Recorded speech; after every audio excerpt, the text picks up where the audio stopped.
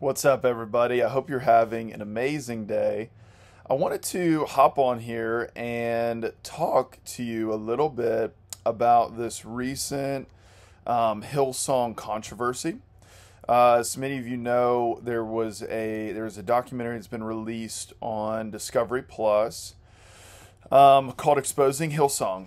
Sorry, I'm moving the computer around as I talk, but um, there's a documentary called Exposing Hillsong, and I took the time to watch it. I am not a heresy hunter. I'm too busy uh, studying the Word of God, getting in His presence myself, that um, I don't have time studying this kind of stuff most of the time. But I wanted to look into it and see if there's anything I can learn as a, as a pastor, as a leader.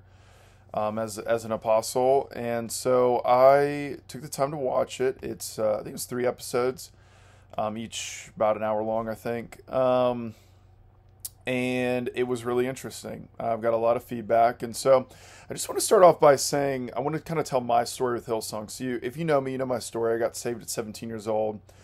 I had never heard um, modern worship music. I grew up on hymns, and I disco- I got saved in an encounter with God, and I discovered Hillsong. I really don't even remember how, to be honest, but somehow I came across Hillsong and uh, started listening to their music. Um, and I was blown away. Honestly, I was blown away. It was one of their earlier albums, and just singing about the love of God, about the cross, um, about the Father heart of God, worshiping Him in in excitement and passion was captivating. It really was. Um, to this day, Beautiful Exchange is one of my favorite songs of all time. That album was great. Um, I mean, I, I, I shed many, many, many, many, many tears listening to Hillsong. Okay, so my wife was saying the same thing. We were talking about this last night that uh, um, she had many experiences with God while listening to Hillsong in the early years that she wouldn't be where she is with the Lord without their music and their worship in the early years. Sorry, my voice kind of raspy. I preached a lot this weekend. So, um, so I say that to say I have a deep, deep love and appreciation for their music, especially 10 years ago. Um, I, to be honest, I think it's been very different in the last, um, you know, five years or more. Um, it's been uh, not the same, and I'll get more into that. So anyway, um, yeah, so if you don't know, Hillsong is a is is the way people title it. It's a neo Pentecostal um, church. Um, some would say neo charismatic. Uh, they have Assemblies of God roots. I don't know if they're still assemblies. I've been wondering that for a while now. I don't know. They were Assemblies of God for a long time, if not currently.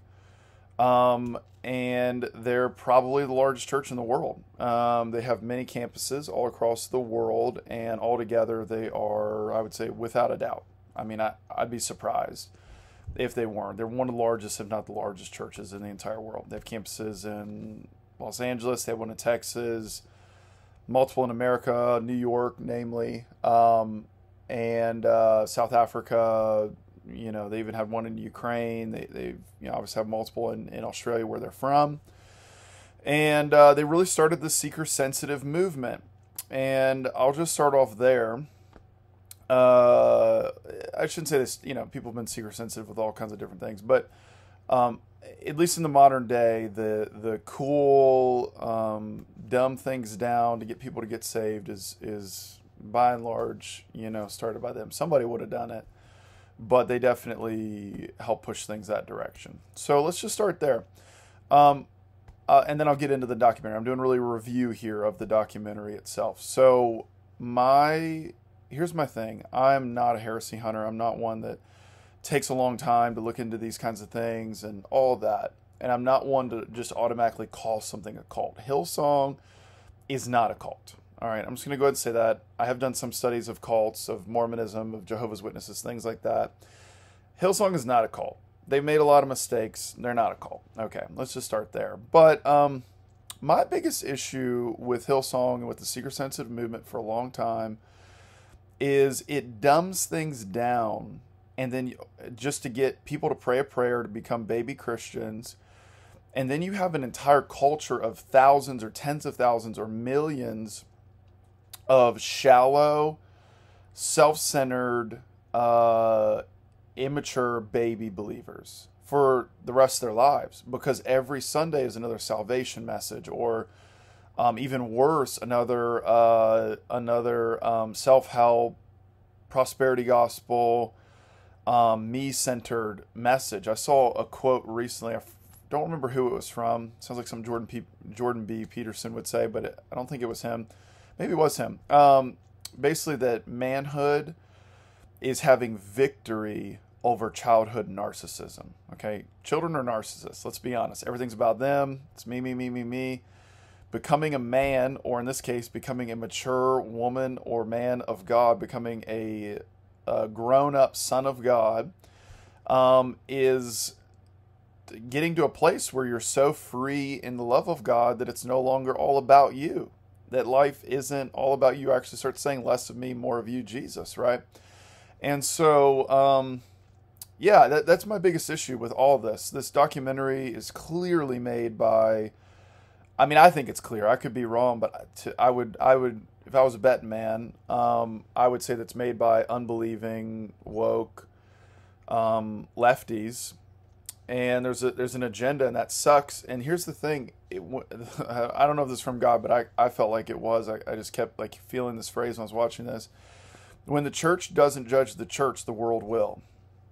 And uh, that's that's my thing is like i've been saying these things for for five ten years maybe even. I mean i was listening to Hillsong music back then but even at that time i was kind of like you know their messages they're kind of seeker sensitive. You know, you're getting some Old Testament story and then applying it to you getting a job promotion or um, handling transition well or you know something like that and um, though there's some room for some of that um, a steady diet of that will make the bible and the gospel and the glory of god all about you and instead of making it about him. You know, I, I have a, a, a, I do my best anyway. I think I'm pretty good at this. Um, I have a lens when I read the Bible, and it's knowing him.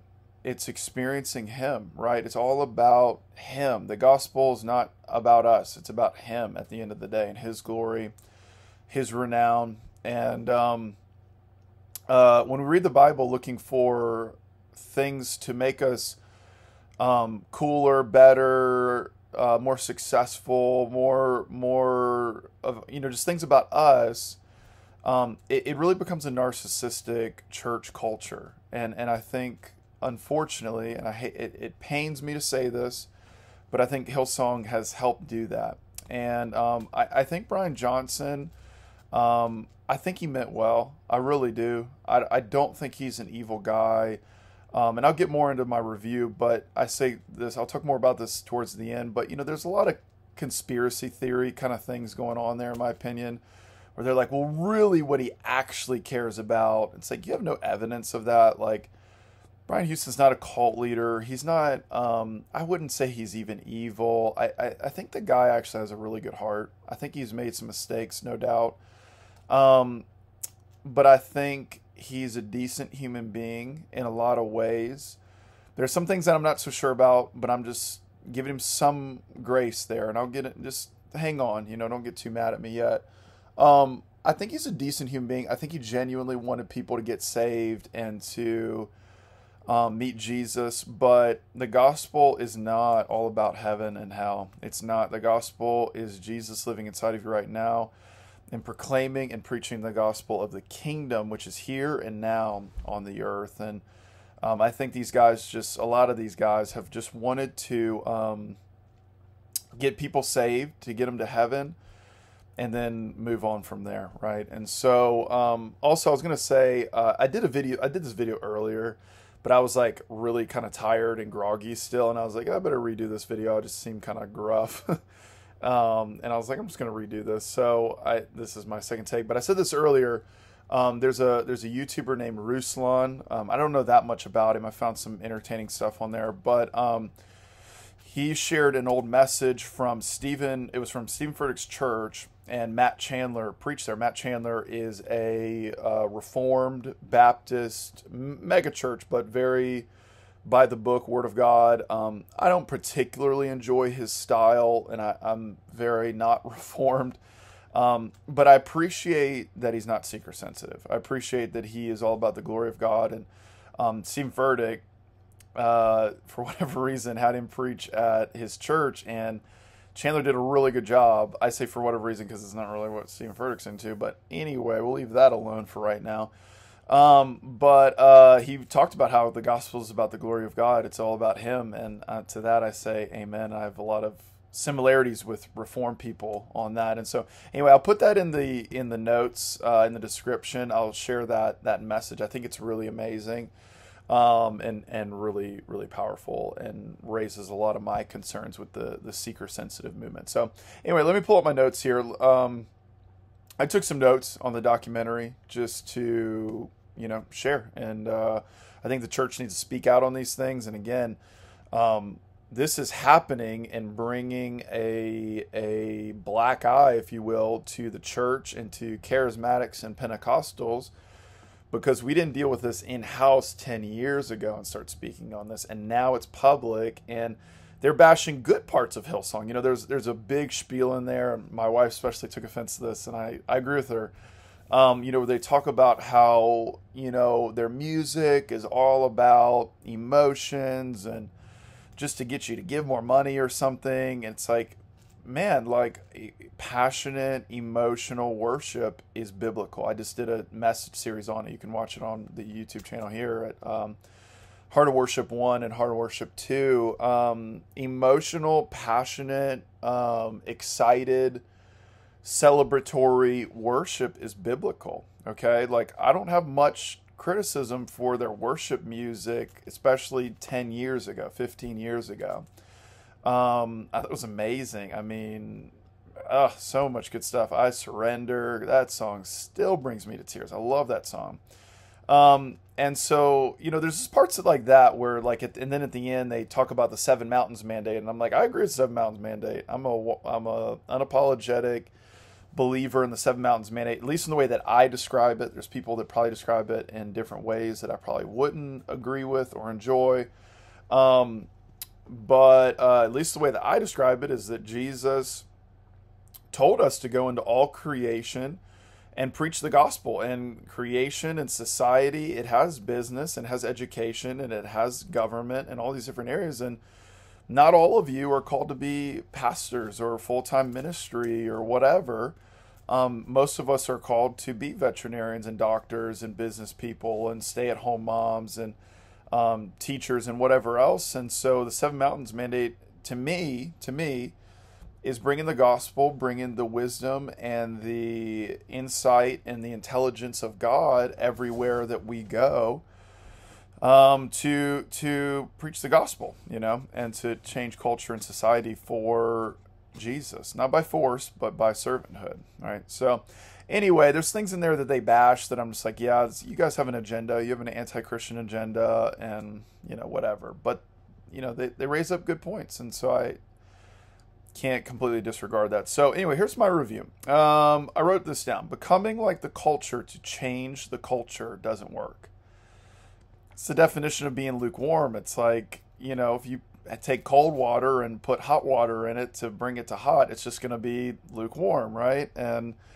that's kind of what Hillsong did, you know. I think they just focused so much on the production and things like that. And don't get me wrong, I don't mind a good um, good church pew and nice, you know, music and a good sound system and you know, I appreciate that my building has a nice AC system and we have a little coffee shop. You know, I don't mind some of those things, but when it becomes all about that and then the message is watered down, you're in dangerous territory. You're really in dangerous territory, and uh, that's that's no good.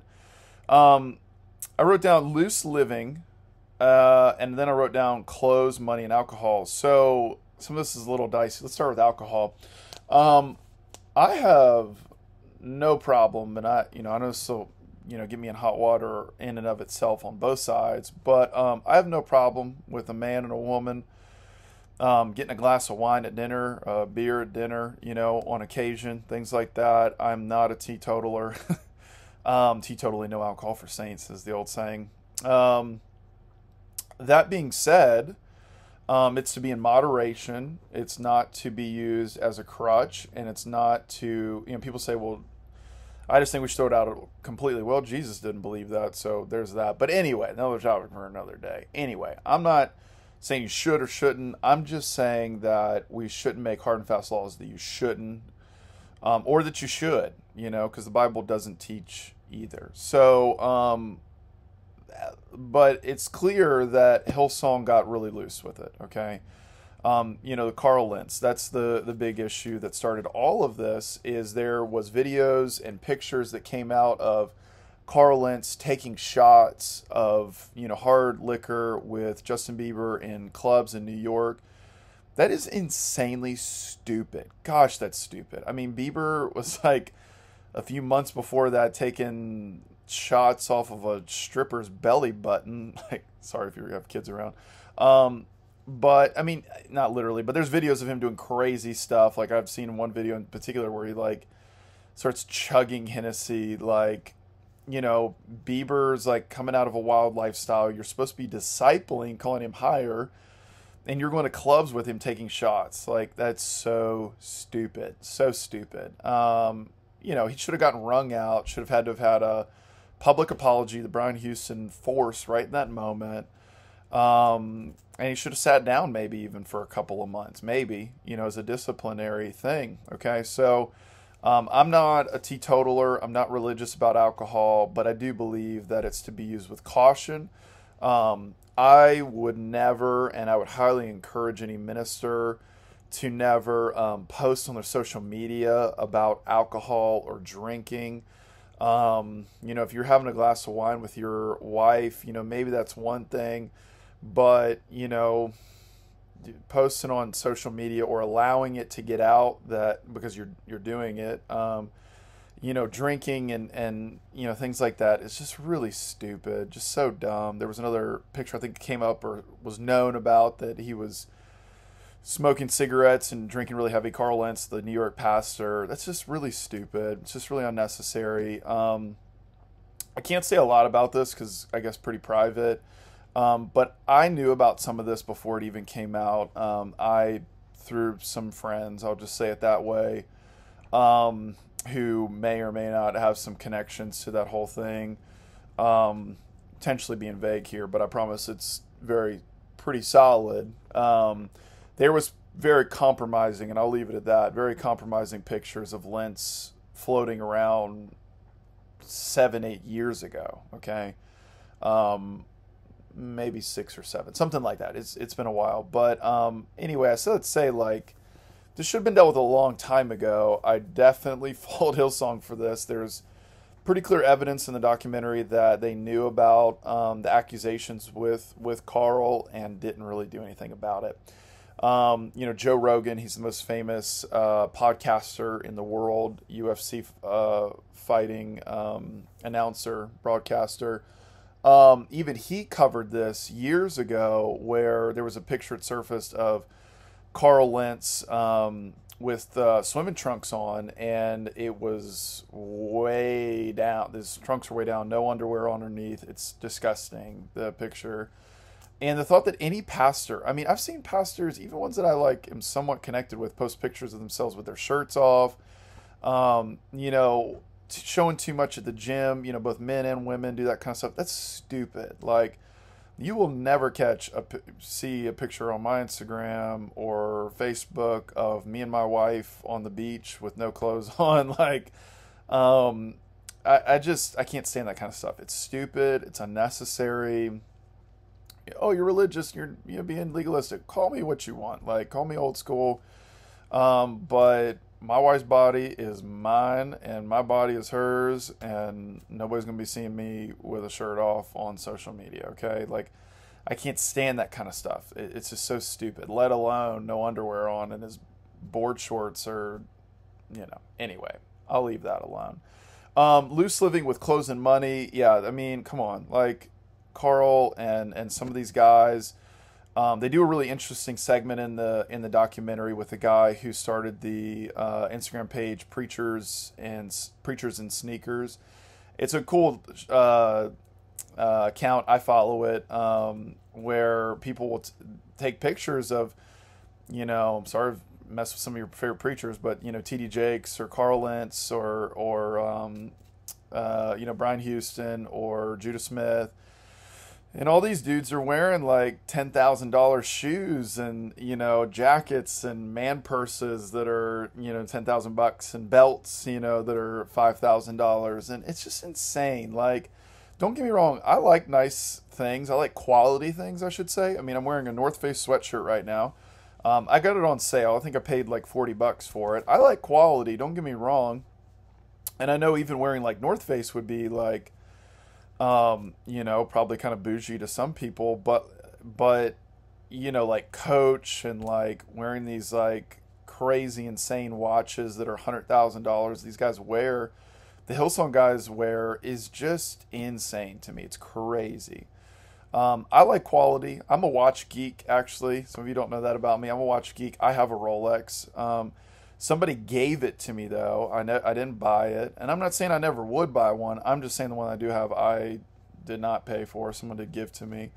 Um, but like, there's a line between like quality versus like, you know, like a normal baseline like Rolex you're gonna hand off to your kids versus like an Audemars Piguet, which is like hundred fifty thousand dollars. Okay, and these these bozos like you know, are, are, wearing stuff like that, like not just like a five thousand dollar watch. Which again, I, I know that's pretty extravagant in itself, and I think it's kind of a gray area in my opinion.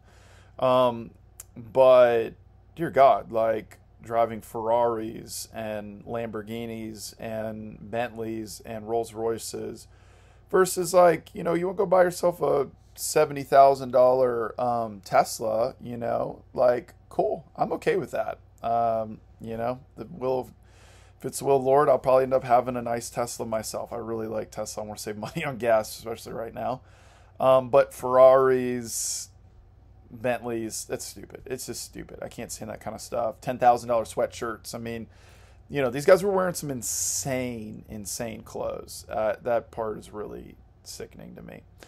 Um, here's a big one for me uh, Hillsong, and again, this is also you could kind of take everything I'm saying here about all the seeker sensitive um, churches, to be honest, but I'll leave that alone for right now. But um, you know, unwillingness to speak on abortion is always one of my biggest hot bu- button um, issues that bugs me about mega churches. Um, you know, it's like something happens and you know race relations and and that all that happens and black lives matter. And these guys will march with black lives matter march with um and and talk about and preach on for weeks on end black lives matter which is an organization that wants the destruction of patriarchy and the nuclear family which is all biblical by the way. Patriarchy is biblical. Just made five feminists uh, have a heart palpitation. Um, but uh, yeah, patriarchy is biblical, and so these guys will talk on Black Lives Matter, which hates patriarchy, hates the nuclear family, hates biblical headship, loves feminism, loves homosexuality, um, loves transgender everything. They'll, they'll publicly post that on their Instagrams, but has never spoken about abortion. I mean, Carl Lentz, again, is where Brian Houston should have stepped in a long time ago um, was on Oprah years ago, or no, he was on The View, and they said, "What do you think about abortion?" He's like, "Oh, I can't give an answer on that. It's more of a conversation, and I want to know your story." Look, there's no story that changes that um, abortion's murder. Okay, so unwilling to speak on abortion. The documentary doesn't cover that. I'm sure everybody making this documentary was totally fine with abortion, but um, the church shouldn't be, right? So that's that's like a huge issue for me. Um, the focus on stars and influential people you know, I felt bad for Justin Bieber for years because these guys, not just Carl, but a lot of those guys would use him. You know, he clearly needs to like be taught to not be a narcissist anymore, not make life all about him. And they're posting about him on their Instagrams nonstop. He's speaking and leading worship at their conferences and like two weeks before and or after, you know, he's sleeping with this model and he's, you know, going to a strip club, and then they're like posting about him all the time. like, dude, like love him by taking him out of the public eye. If you're really his pastor, sit him down and help him get his crap together. Like, I, I don't know. Like, I, I that always really bugged me how much like these guys were really just using Bieber to get more followers. I got in trouble years ago because there was a local church in my area who sorry, I don't know if I'm supposed to talk about this. I might get in trouble, but anyway, um, he was having in Carl Lentz and um, another big name uh, pastor, and both these, you know, Lentz and this other guy were discipling, you know, Bieber and an NBA star, right? And I publicly posted they were promoting it. I kept getting the ads, and you know, in a moment of frustration, probably I was like, "This is stupid," because I saw this stuff coming, you know.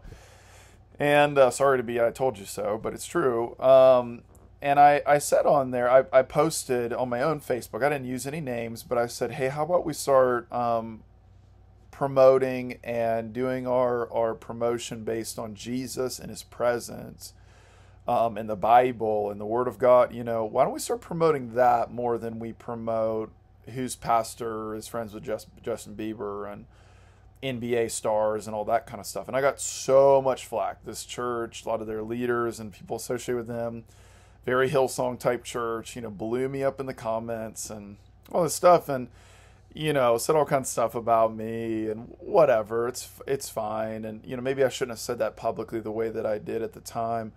Um, but I just think it's very uh, symptomatic of this whole issue, right? Is is Hillsong, Carl Lentz, even Brian Houston, who I'm a little bit more partial to, I'm a little more sympathetic to in some areas, um, allowing this kind of stuff. You know, Brian Houston as a spiritual dad, as a pastor, should have called out um, Carl Lentz a long time ago. The stuff should have never went as far as it did and said, hey, quit posting with Bieber. You're using him, right? You know, so the, yeah. And the documentary talks about how um, how they actually had like a VIP section in their church. Dear God, like James talks about this, like Jesus talks about this, like we don't favor people based on money, influence, power. Um, that is anti-gospel, right? And it's just that's disgusting to me. Um, yeah, the rock star status instead of the focus on Jesus. You know, I love old school Pentecostal folks. You know, you watch old videos from, you know, even like a William Branham, who was a very humble man, got off in some weird things later in life, but very humble for most of his life. Um, Kathryn Kuhlman, you know, they made it all about Jesus. They made everything about him. And uh, we need to come back to that. Amen. We need to come back to a, a day and a generation where it's not about who's here, who's cool, who's not. You know, Carl comes out, it's like, ah, you know, Brian Houston, it's like all about them. But, you know, Kathryn Kuhlman, she'd come out on a stage and she'd start weeping. You know, she'd close her eyes and get down on her knees. Let's look at Jesus. Let's worship him, right? And that's what it should be all about. I mean, God will um, build ministries around people's personalities sometimes uh, because God's anointed them. They're being attracted to the anointing on their life. But there's a big difference between that versus like a cult of personality, right? I'm not saying they're a cult, but that can kind of like be kind of culty sometimes. Um, uh, I wrote down made by liberals who want uh, believers to not influence culture, and that's what really sucks about this documentary is there's a lot of things in there where it, it's very clear their narrative is that the church should just stay inside the church you know don't get out into society. They're using hillsong's moral failures and failures in leadership to um, kind of tell all of us to shut up and stay out of the world. And so i want to encourage you like just because hillsong messed up doesn't mean all churches are bad. You still need to go to church. You still need to find a good church to serve at uh, and to be accountable to um, and that's really, really important. Okay. So I just want to be clear with that. People should not use this as a way to just hate all institutional organized religions and churches and all that. So, um, yeah, people's willingness to hide sin seems like a really big issue in Hillsong's uh, culture. Um, you know, Brian Houston's case, uh, you know, his father was a pedophile. He was a pastor who was molesting, I think they said like I forget. I want to put a number because I don't want to misquote and put it in your head, but he was molesting multiple kids. Multiple kids came, or they were adults later, you know, and came forward, and um, he had molested them while he was in ministry. And Brian Houston, you know, it's illegal in Australia and I, I assume America too. Um, I don't know if it's actually I don't know if it's illegal in America, but he is being accused of breaking some laws in that he was hiding, accused of being of hiding his father's sexual um, pedophilia. If that's true, he should go to jail. I'd love to hear a response from them. I feel like a lot of what they said should have been like a little bit more like um, a little more uh, like uh, graceful, sort of, of like at least in the sense of like wanting to hear their side, their perspective. In America, you're innocent until you're proven guilty. Um, and so I don't know. I don't know, you know, what's the truth there. I'm not going to make a huge indictment of, of Houston on that one. It seems like there's probably a lot more to the story than what this documentary was even saying um, in either direction, you know. So I don't know. I don't know. Uh, but if he's guilty, then he should do jail time. I completely believe that. Um, but yeah, I mean, they knew about Carl, you know, before and knew about allegations with him and should have done a much deeper look into that. Um, I don't like how much the documentary, um, like I said earlier, has a lot of conspiracy theories, kind of where it's they don't give anybody the benefit of the doubt. Not that they should or shouldn't, but at least have a little bit of like, well, I don't know, you know, kind of mentality. There's a lot of times where it's like we know that, you know, it's like we don't have any evidence, but this is what we know happened because this is what we think. And you know, there's a part where like they say like the guy's like, I don't have any evidence, but I know that Car- or Brian um, fired Carl because he was getting more famous than him. It's like we don't know that. Like that doesn't even make any sense to me. So I don't know. Um, all in all, I think the documentary was okay. I wish the church would handle these things on our own so the world doesn't have to. That's what's really sad about this. It should have been dealt with 10 years ago. Um, and I pray that we learn from it. I pray that seeker sensitive churches quit being seeker sensitive, start preaching the whole counsel of God, and that we would catch a flame for revival. I, I don't believe in these neo Pentecostal, neo charismatic churches. I'm unapologetically charismatic Pentecostal. And uh, we shouldn't be seeker sensitive. We should be sensitive to the presence of God, right? So, I'm praying for Hillsong. I'm thankful for their contribution in areas that they contr- contributed good things, and I really believe they did. I really do. Um, I believe that God did amazing things through them, and uh, I pray and I hope that their their better days are ahead of them, and that they would repent for areas that they messed up. So anyway, I love you all. Uh, hope this is encouraging to you.